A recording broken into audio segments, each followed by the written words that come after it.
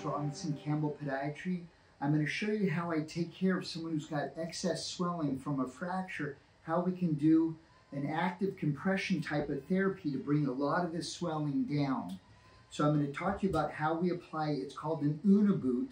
And an Unna boot was originally designed in 1882 by a German dermatologist named Paul Gerson Unna, and he applied the zinc oxide dressing to take care of different types of dermatitises.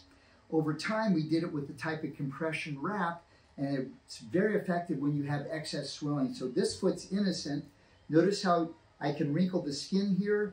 Notice here how it's hard to get wrinkling because it's indurated so much.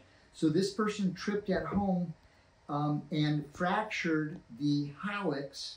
It's not a displaced fracture, but it's comminuted, so that fractures in little tiny pieces, but it's not displaced and if we can just immobilize this adequately, we're going to get her feeling better.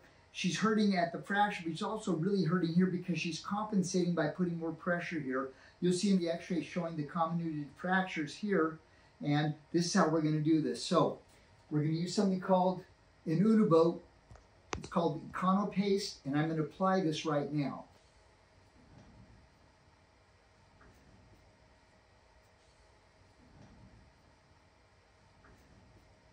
So I've now applied the Unna boot and now I'm securing it with ace bandages. When you put this on, you start at the toes and then you wrap it going up.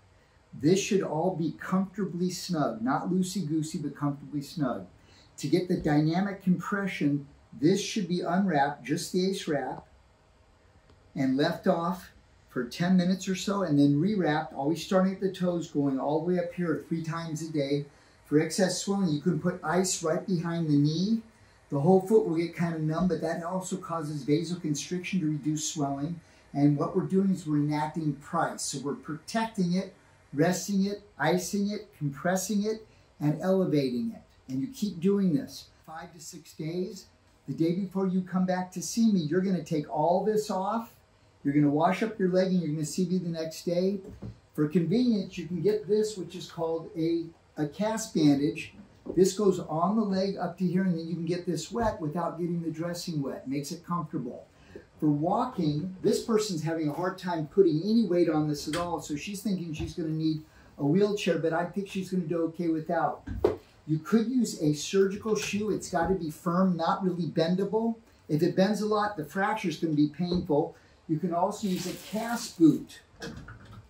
So that's how we protect the fracture. This is how we get the swelling to come down by using an Unna boot. It's a dynamic compression, and this makes a huge difference to get the swelling down within just a week. So I'm Dr. Douglas Robinson. Please take care of yourself and each other.